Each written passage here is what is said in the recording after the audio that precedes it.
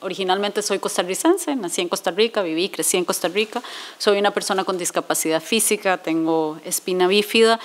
y eh, yo me voy a tomar la libertad, sé que habíamos sido convocados para hablar sobre todo de temas eh, relacionados con inclusión laboral, eh, pero quisiera después de las reflexiones que hemos tenido hoy en la mañana, ser un poco más flexible con la, con la conversación que vamos a tener hoy y contarles, primero empezar eh, por contarles un poquito sobre qué, cuál es mi mandato, cuál es el papel de la, de la Relatoría Especial sobre los Derechos de las Personas con Discapacidad y desde dónde podemos contribuir, desde dónde mi mandato,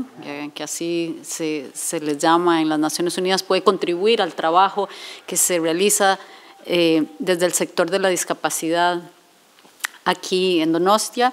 cómo eh, cómo yo puedo contribuir, cuál es el papel y cuáles en general, eh, cuáles son las discusiones que se están dando a nivel internacional en los temas de los derechos de las personas con discapacidad. En la última década, como ustedes saben, se ha acelerado el proceso de reconocimiento de los derechos de las personas con discapacidad gracias a la, adopción de la convención y quiero eh, tocar un poquito sobre esos temas. Y también hablar, bueno, de, tanto de los, de los avances positivos que hay como de los desafíos, que eh, es curioso cómo en mi trabajo a nivel internacional me doy cuenta que los desafíos, a pesar de que desde luego cada región, cada país, cada comunidad tiene sus desafíos concretos, hay también muchos desafíos comunes que nos, a los cuales nos estamos enfrentando como sector y en los cuales necesitamos de trabajo conjunto, de las alianzas, de la colaboración, para poder solucionar muchísimos de, los, de esos retos nuevos que nos trae eh, y nos demanda la convención y nos demanda, no la convención, sino eh, el, lograr la participación activa y plena de todas las personas con discapacidad en igualdad de condiciones con las demás personas. Entonces, bueno, lo primero, y, siempre bromeo un poquito con eso, pero tengo que volver a decirlo, hoy en la mañana lo dije, generalmente yo empiezo por preguntar, ¿quién sabe que es una relatora especial o qué es un relator especial? y generalmente nadie sabe, así que no hay tampoco muchos problemas, pero bueno, los, los, redactores especiales, hay más de 80 para que, para que estemos familiarizados con esto, somos mecanismos que designa el Consejo de Derechos Humanos, que es una entidad, es un órgano de las Naciones Unidas, y el Consejo de Derechos Humanos es el que tiene a cargo las discusiones internacionales de todos los estados sobre cómo avanzar en materia de derechos humanos. Entonces, este consejo lo que hace es pedir a expertos en determinadas materias que eh, le apoyen y le traigan eh, insumos para las discusiones sobre diferentes áreas temáticas o, por ejemplo, sobre situaciones en los países. Hay algunos relatores que están monitoreando específicamente la situación de un país, que puede ser un país que está en conflicto, en preconflicto, en posconflicto. Hay algunos relatores, como en mi caso, que somos temáticos, que vemos un tema particular hay unas relatorías que son de grupos, grupos de cinco expertos, eh, que también pueden eh, dedicarse a temas específicos. Y nuestras funciones fundamentales son tres. La primera función es, como le decía, siempre es brindarle insumos al Consejo de Derechos Humanos para las discusiones y lo hacemos a través de tres mecanismos. El primer mecanismo eh, son las visitas oficiales a país. Entonces, en mi papel yo recibo o solicito a un Estado, a un país que me invite para ir a hacer una evaluación completa de la situación del país, en mi caso, sobre la situación de las personas con discapacidad. Entonces, he ido a Corea del Norte, a Kuwait, a Canadá, a Noruega, a Paraguay, o sea, países muy diversos, voy a Botswana, voy a ir a China, eh, y ahí junto con los estados, me reúno con las autoridades, con los diferentes ministerios, con las entidades eh, de la sociedad civil para identificar, bueno, cuáles son las propuestas que se hacen, cuáles son las acciones eh, para apoyar a las personas con discapacidad, pero también para hacerle recomendaciones concretas a un Estado, a un país, de cómo avanzar. Uno de los papeles que el Consejo nos pide es que acompañemos a los Estados en el desarrollo de capacidad técnica. Y esta también es una de las funciones en las que estoy hoy aquí, o sea, entendiendo, aprendiendo, pero también... Eh, entendiendo que mi papel puede ser brindar un poquito de acompañamiento en algunos temas que podrían ser importantes. Generalmente después de estas visitas, generalmente no, después de estas visitas oficiales, yo hago un informe oficial que se presenta y se discute en el Consejo de Derechos Humanos. Esa es la función número uno. La segunda función eh, que la traigo también a colación porque va a ser importante, creo, en la, conversación que vamos a tener, es eh, la de elaborar unos informes temáticos. Nuevamente, eh, en estrecha consulta con las organizaciones internacionales de personas con discapacidad y con los agentes que trabajan en estos temas, más el conocimiento que uno puede ir reuniendo, se identifican en el mandato, digamos, yo como experta identifico áreas en las que me parece que hay una particular necesidad de esos desafíos comunes que mencionaba al principio, que estamos identificando. Bueno, los estados están teniendo dificultades para avanzar en el tema de la capacidad jurídica, el reconocimiento pleno de la capacidad jurídica de las personas con discapacidad. ¿Cómo podemos ah, hacer este tema más digerible? ¿Qué tipo de asistencia técnica, qué tipo de guía puede ser necesaria? y se generan estos informes que se presentan. En, eh, es, un trabajo bastante interesante, intenso, porque presentamos informes dos veces al año. Tengo que presentar un informe en marzo en el Consejo de Derechos Humanos y un informe eh, después en Nueva York en, en octubre. Y estos informes temáticos, como digo, están eh, destinados a, la, a las comunidades que como ustedes están trabajando en temas de, bueno, cómo solucionamos el tema de la dependencia, el tema de los asistentes personales, el tema de eh, la accesibilidad, cómo lo gestionamos con las diferentes autoridades y cuáles son las obligaciones que tienen las autoridades eh, locales para responder a esos eh, desafíos, pues bueno, eso es, un poco lo que, lo que se trata de hacer en los, en los informes. Hay una tercera actividad, que es una actividad muy puntual, eh, que dentro de nuestro trabajo de monitoreo y vigilancia de derechos humanos también podemos recibir eh, quejas eh, individuales de personas que estén enfrentando violaciones a sus derechos y me las comunican a mí y yo puedo entonces comunicárselas al Estado y decir, bueno, he recibido información sobre una situación particular, me gustaría saber qué pasa con esta situación. Esto no es, por supuesto, un mecanismo vinculante, no tenemos tanto poder, eh, pero sí es cierto que ayuda mucho a abrir el diálogo con un Estado. Eh, muchas veces sucede que, bueno, no necesariamente las autoridades están involucradas con la situación particular, muchas veces ayuda a que la situación eh, se solucione y bueno, entonces es otro mecanismo que tenemos para tratar de apoyar el avance de los derechos de las personas con discapacidad. Evidentemente, en todo el trabajo, una de las partes fundamentales, y esto no, no, lo mencioné al principio, pero yo eh, inicialmente soy y me inicié en el trabajo en, en, el movimiento de las personas con discapacidad hace más de 20 años en Costa Rica, efectivamente trabajando con organizaciones de personas con discapacidad y siempre las organizaciones de personas con discapacidad son un referente para el trabajo que se hace desde la relatoría eh, porque desde luego son las personas que están en el terreno, las que están enfrentando eh, las dificultades y las que sirven como mejor insumo sobre cuáles son los, los, desafíos reales. Y en el trabajo siempre se hace muy acompañado. Tengo esta, em, este fondo ahí de la pantalla, porque cuando empecé con el mandato y, y, lo vamos a elaborar un poco más, creo que eh, en elaborando sobre temas que me parecen y podemos discutir con, todos ustedes eh, sobre cuáles son los temas que quizás son prioritarios para, para el sector. Cuando empecé el mandato, uno tiene que presentar una especie de plan de trabajo. Y en mi plan de trabajo decidí que iba, que iba a trabajar en tres áreas. Voy a trabajar en el tema de la inclusión socioeconómica, el tema de la pobreza de las personas con discapacidad es un tema recurrente, de la exclusión social y los problemas que afectan a las personas con discapacidad, por, por ejemplo, los costos adicionales que tiene vivir eh, con una discapacidad y cómo eso se considera o no se considera y es un elemento fundamental para permitir la participación de las personas con discapacidad. Otro eje fundamental del trabajo iba a ser la promoción de la ciudadanía activa. Si hay un mensaje fundamental de la Convención sobre los Derechos de las Personas con Discapacidad es precisamente traer a las personas con discapacidad, a la comunidad en el pleno ejercicio de su ciudadanía. Ese es, uno, uno, de los objetivos fundamentales, es decir, cómo podemos hacer que después de tanto tiempo de segregación, de exclusión, de marginación, las personas con discapacidad recu recuperen y además ejerzan plenamente eh, su ciudadanía. Y ahí eh, estamos hablando de temas desde la participación política, que recientemente eh, en España ustedes tuvieron un importante eh, evento que fue el que las personas con discapacidad intelectual pudieran volver a votar, que parece mentira que eso no pasara, pero bueno, es, es un resultado importante ya de un proceso.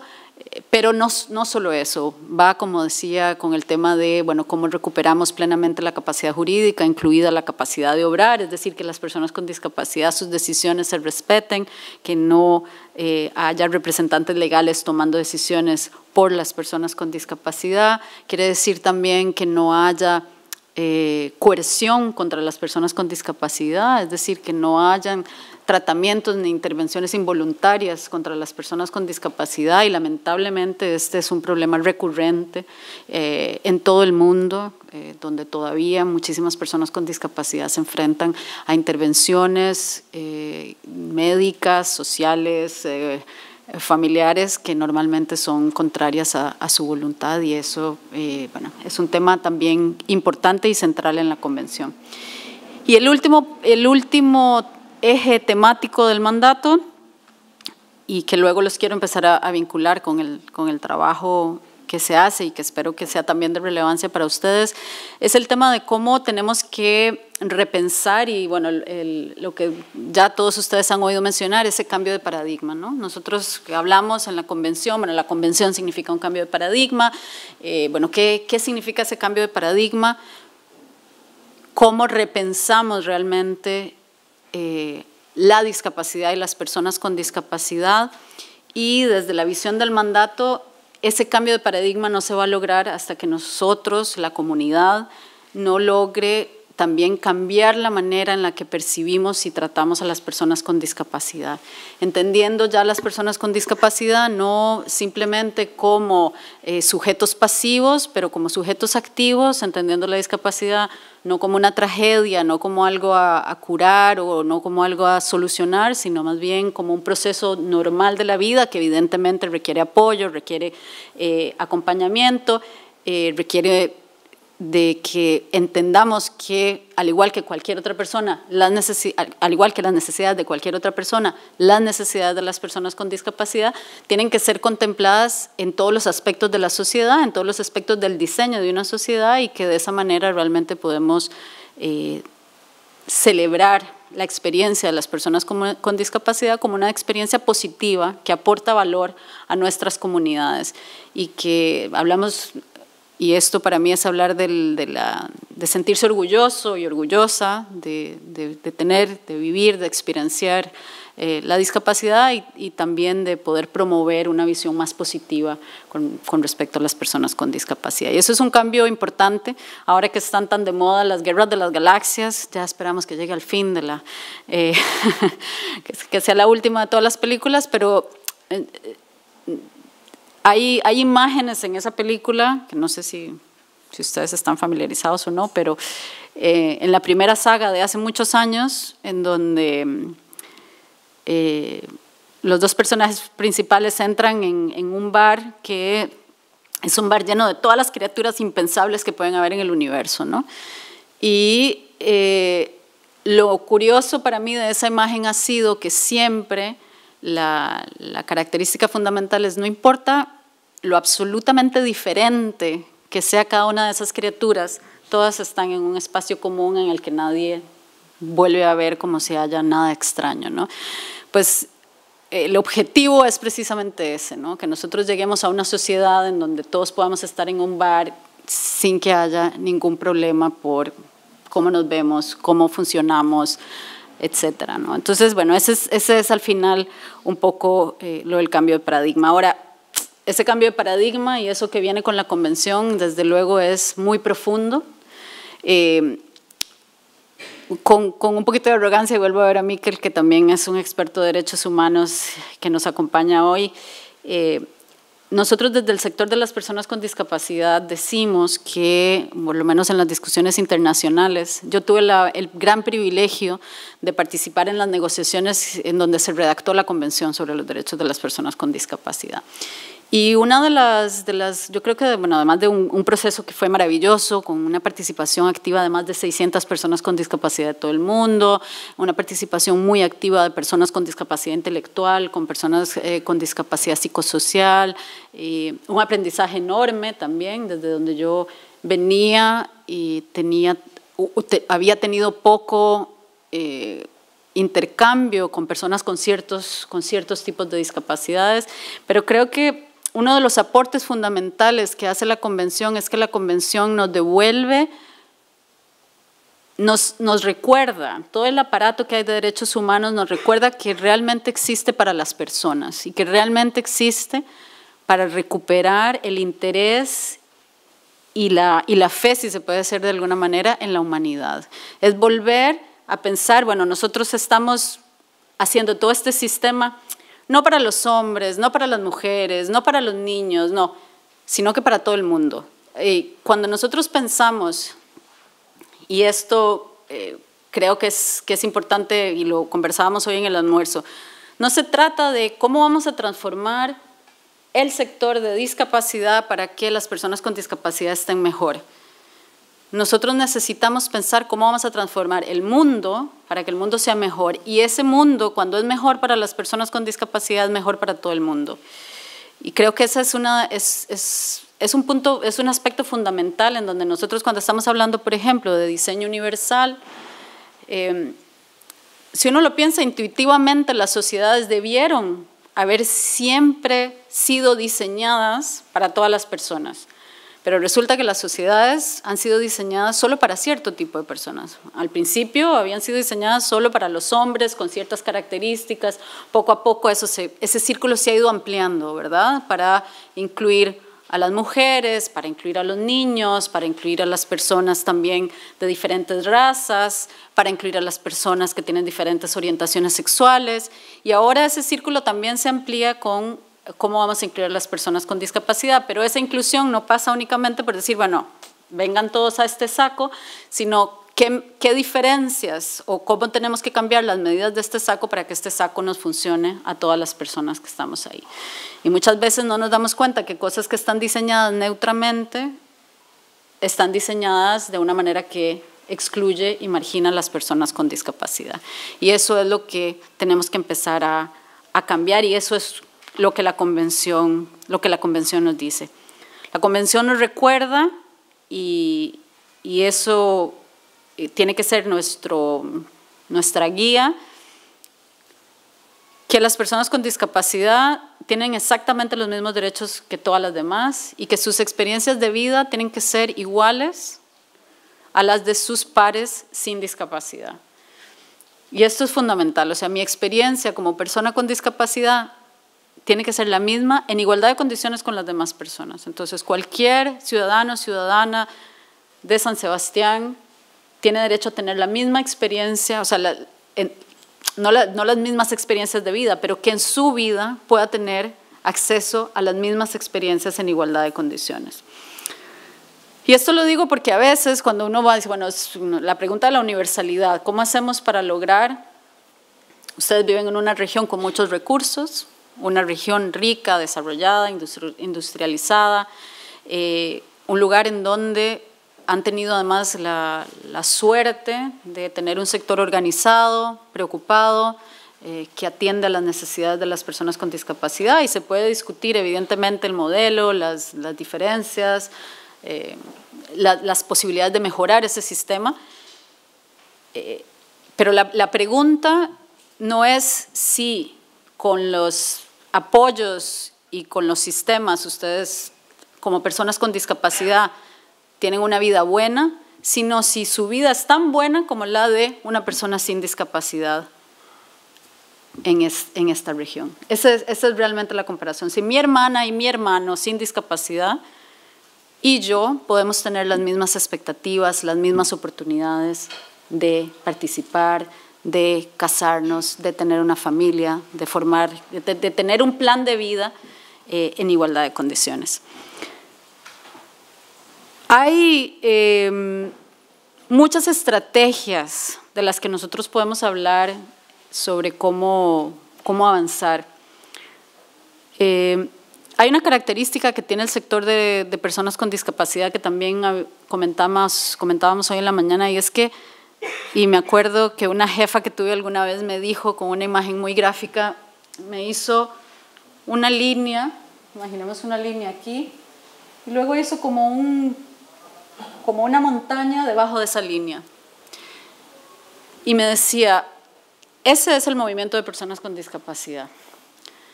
Nosotros logramos unos niveles de sofisticación increíbles, vamos penetrando y penetrando, profundizando y profundizando y profundizando y cavando y sofisticando nuestro conocimiento, pero esa línea es la superficie y nosotros no traspasamos la superficie. No logramos comunicar a otros sectores, más allá del sector de la discapacidad,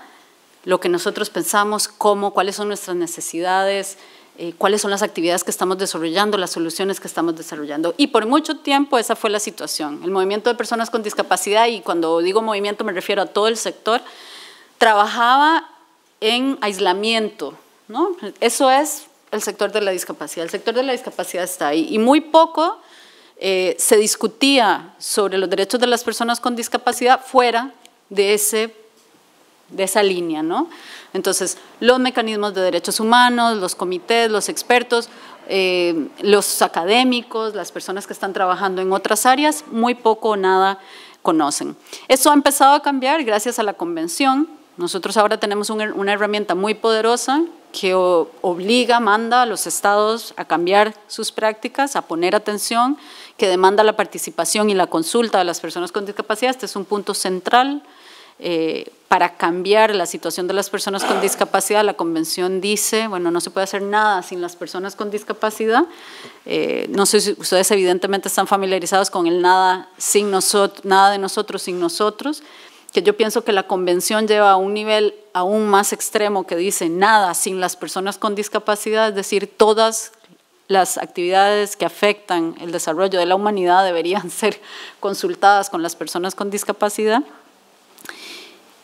Y eh, la convención al hacer esto nos está ayudando a sacar el tema y cuando saca el tema, desde luego, también nos saca de nuestra zona de confort. Y nos empezamos a encontrar que muchos de los temas que nosotros teníamos discutidos y solucionados,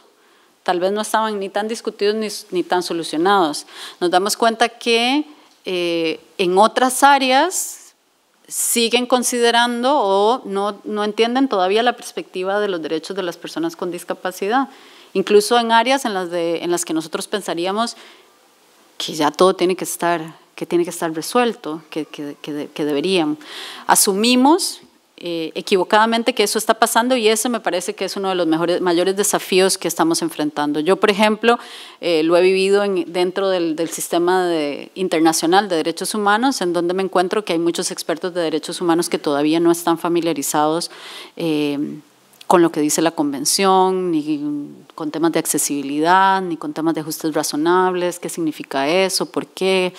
cómo se come, no, no es, eh, es un tema que les parece que no, no, no pertenece. Entonces la convención nos está trayendo la posibilidad no solo de salir a la luz, sino también unas posibilidades enormes y maravillosas de hacer alianzas, hacer alianzas con otros sectores, aprender de esos sectores, beneficiarnos del el conocimiento que tienen otros sectores, aprender de esos sectores, pero también de movilizar esos sectores para que aprendan, se involucren, se interesen y apoyen la inclusión de las personas con discapacidad. Porque la tarea es ingente. O sea, cuando nosotros empezamos y tenemos que hablar de, eh, de temas de género, como se mencionaba, de temas de indígenas, de temas de cambio climático, de temas de accesibilidad, de temas de accesibilidad en la tecnología, que es un desafío enorme que hay para la inclusión de las personas con discapacidad y del trabajo es, eh, es un tema de nunca acabar, de saneamiento, de, reglas de normativas, técnicas de accesibilidad. Es decir, es, eh, cada sector en niñez hay un tema que nos va a tocar. Ahora, ¿cómo, eh, cómo desde aquí y,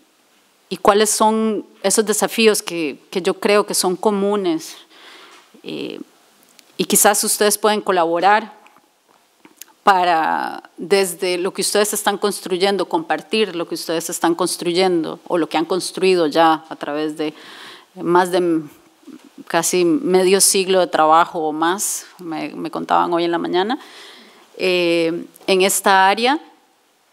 cuánto pueden contribuir y también cuánto y cómo podemos aprender de esos desafíos comunes y contribuir en la solución de esos desafíos comunes y quizás también aprender de cómo eh, otros sectores están ya solucionando esos desafíos comunes. Eh, en general, lo que yo veo desde el mandato, y luego ya quiero terminar porque quiero eh, tener más la conversación y las reacciones con ustedes, si les parece, ¿no? para ver si estamos de acuerdo con, con, esas, con esas identificaciones. Es que tenemos un problema fundamental con la, todavía con la participación la participación, la consulta con las organizaciones de personas con discapacidad dista de ser una realidad eh, en la mayoría de las partes del mundo. Todavía no tenemos una noción eh, verdaderamente participativa de, eh, del accionar del sector de la discapacidad. Y esto quiere decir la, la participación, y, hice un informe sobre este tema, no solo pasa por por, por, consultas. Maite, tú me ayudas con el tiempo, que yo ya, sí. Eh, sino que pasa también por eh, la diversidad, cómo incluimos la diversidad de voces de personas con discapacidad en lo que nosotros hacemos. Eso es, eso es un desafío muchas veces hasta para las organizaciones internacionales de personas con discapacidad, pero por ejemplo Carla, que, que me acompaña hoy, ella está trabajando con mi mandato eh, en el, área específico de las personas con discapacidad intelectual. Y es un área muy importante, es decir, bueno, cuando hablamos de una consulta tenemos que plantearnos, bueno, cómo facilitamos que participen todas las personas, personas con discapacidad intelectual, personas con discapacidad psicosocial, que son aquellas que son identificadas normalmente a través de eh, los temas de salud mental, pero son personas con discapacidad psicosocial, las personas autistas, eh, ¿Cómo hacemos para que todas las mujeres, eh, todas las diferentes voces de las personas con discapacidad estén sentadas en la mesa y puedan participar en el desarrollo de las políticas y en el diseño de las políticas antes de que las políticas sean aprobadas? Eh, eso es un tema fundamental que todavía es un desafío, yo creo que muy importante. Seguimos encontrándonos que al final de los procesos nos damos cuenta de que, uy, esto no es accesible, uy, esto no toma en cuenta a las personas con discapacidad. Eh, o bien, y eso es otro también un desafío importante, a veces llamamos a las personas con discapacidad a la mesa, pero luego hacemos todo lo contrario. Y siempre tenemos que encontrar un balance entre, eh, evidentemente, los hacedores de, políticas públicas y los ejecutores de las políticas públicas, pero un balance entre eh, cómo se toma en cuenta la voz de las personas con discapacidad y ese nada de nosotros sin nosotros. Otro desafío fundamental es, desde luego, el reconocimiento de la capacidad jurídica y la eliminación de la coerción. En el mundo estamos avanzando a una velocidad eh, muy intensa en este proceso, y lo comentábamos hoy en la mañana, de cambiar toda la legislación que permite, la legislación civil que permite los estados de interdicción o la incapacitación civil de las personas con discapacidad. Eso es una transformación muy importante que se tiene que tomar muy en serio porque es una transformación que realmente refleja el cambio de paradigma. Eh, es, una, es un cambio en el donde realmente lo que se viene a decir es sí, todas las personas eh, pueden tomar decisiones, todas esas decisiones pueden tener implicaciones legales y eh, la capacidad jurídica es inherente a la persona humana, pero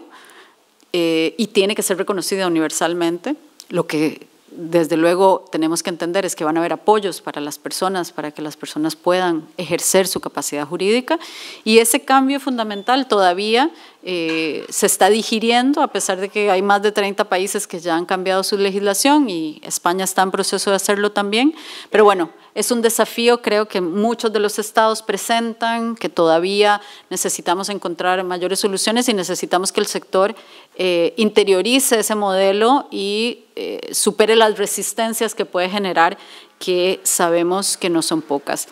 El tema de la pobreza y la desigualdad es un tema también muy importante para las personas con discapacidad, desde luego. Es un tema en el que, a pesar de que hay muchísimos avances y hay mucha discusión sobre cómo los sistemas de protección social tienen que apoyar a las personas con discapacidad, seguimos teniendo modelos que lamentablemente siguen promoviendo o tienen resabios de un enfoque muy paternalista. Eh, y no son enfoques que están promoviendo la participación activa de las personas con discapacidad. Entonces todavía hay modelos, eh, por ejemplo, de pensiones, que es muy importante que existan las pensiones, no quiero que me malentiendan en este sentido, siempre tiene que haber y tienen que tener las posibilidades de que haya apoyos, eh, sobre todo para poder enfrentar los gastos adicionales que tiene vivir con una discapacidad, pero el, el problema es cómo el enfoque de, esos, de esos modelos, y esto lo veremos ahora, puede ser una limitante. Hay ciertos modelos en los que eh, si usted es beneficiario de asistencia, de una pensión, de algún beneficio, inmediatamente tiene necesariamente que dejar de trabajar. O se puede recibir ese beneficio en el tanto y en el cuanto usted no esté trabajando. Y eso evidentemente es una contradicción con la participación. Lo que nosotros necesitamos es encontrar sistemas de apoyos sociales que lo que hagan es promover la participación, es decir, yo puedo eh, contribuir con parte de sus gastos para que, por ejemplo, cubrir mis, mis, gastos de desplazamiento al centro de trabajo. Yo puedo cubrir eh,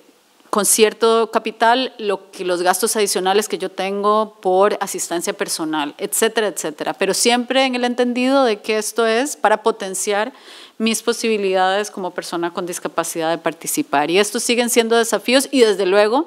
eh, que creo que no es el caso afortunadamente eh, en, en Guipúzcoa,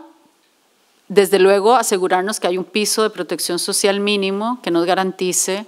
el bienestar eh, y el nivel adecuado de vida a las personas con discapacidad. Y esto es importante porque también tenemos que mirar a la diversidad de personas con discapacidad. Muchas veces se nos olvida y pensamos en personas que tradicionalmente hemos reconocido como personas con discapacidad, personas con discapacidad intelectual, personas con discapacidad física, eh, personas con discapacidades sensoriales, pero también cuando hablábamos esta mañana de las personas que están en riesgo de exclusión, personas que están en riesgo de vivir en la calle, muchas de estas personas son personas con discapacidad psicosocial. ¿Y cómo nos aseguramos entonces de que estos sistemas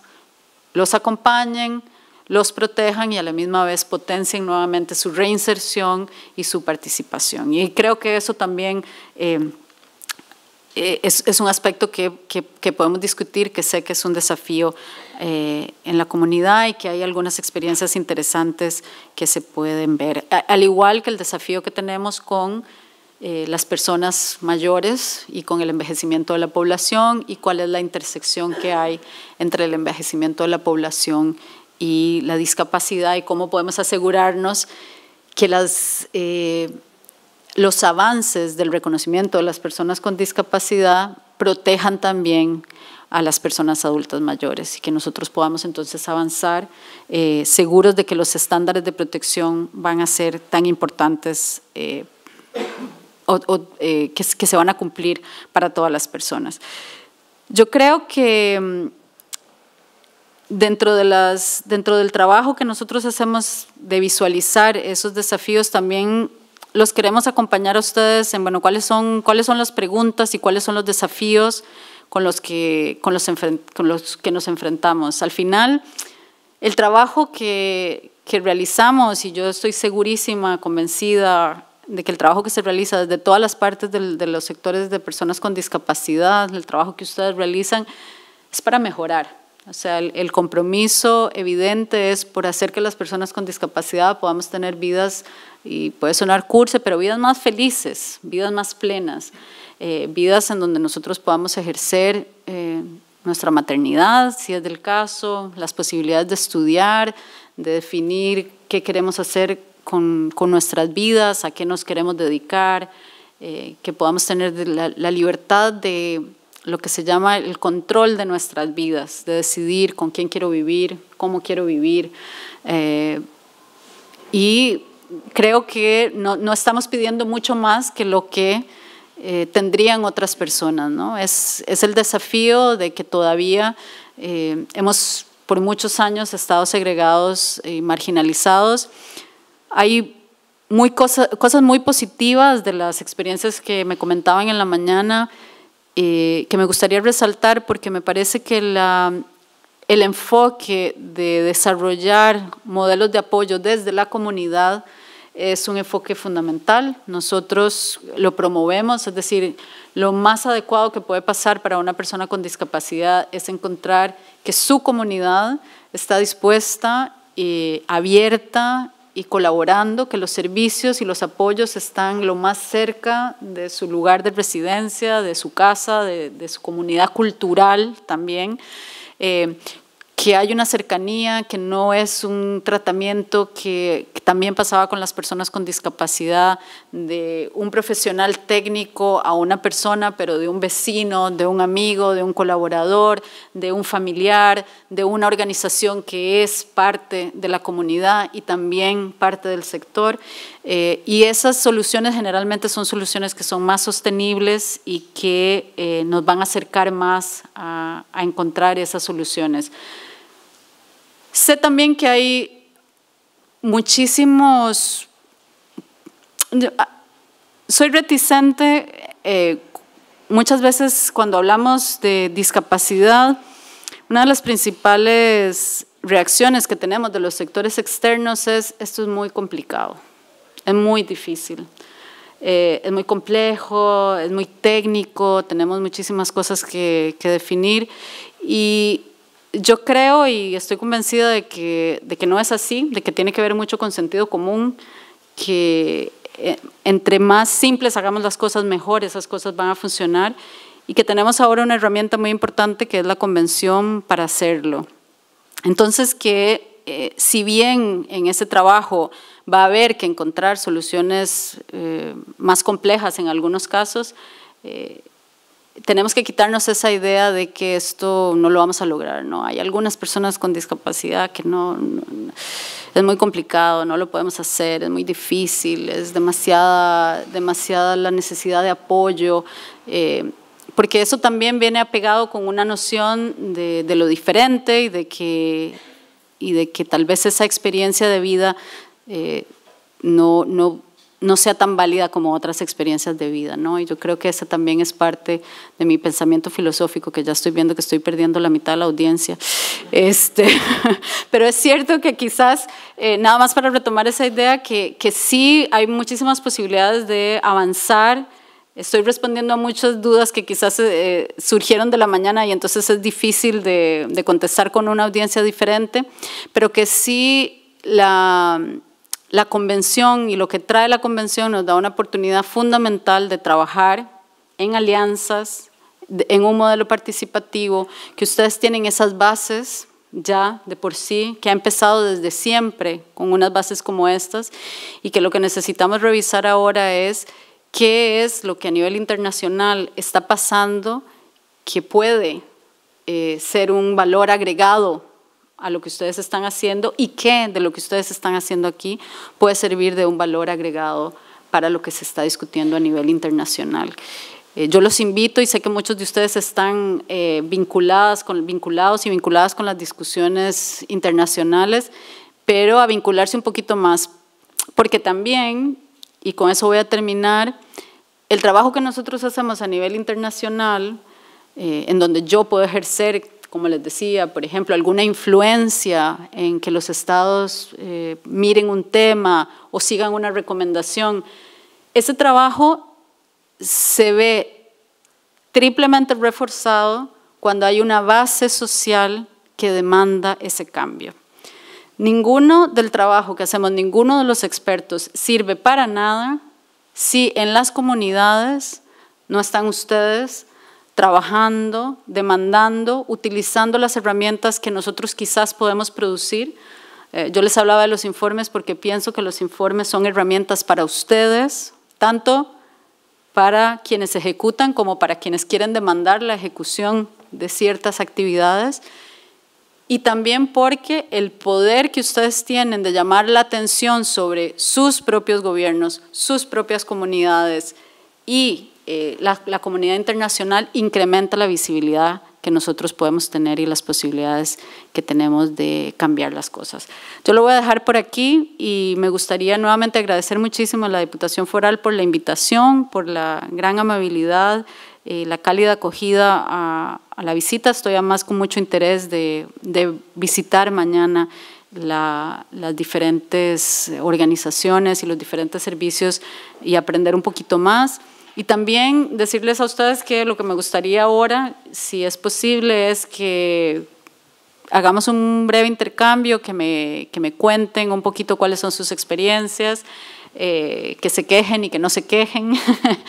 que, que, me, que me cuenten de las cosas positivas que ya escuché un poco en la mañana, pero, pero también de cuáles son eh, esos desafíos y, y, ver si entonces yo puedo también compartir con ustedes un poquito de lo que más concretamente estamos viendo. Bueno, muchísimas gracias.